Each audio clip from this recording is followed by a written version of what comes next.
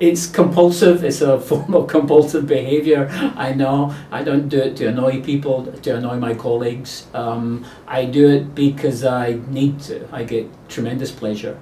I understand the world, I make my way through the world by writing about it.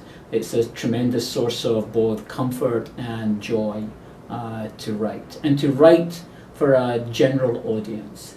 I write, I think, for my grandmother, um, who uh, wasn't well educated but had a thirst for knowledge. And so I have a tremendous goal to make my, my knowledge and writing as accessible uh, as possible.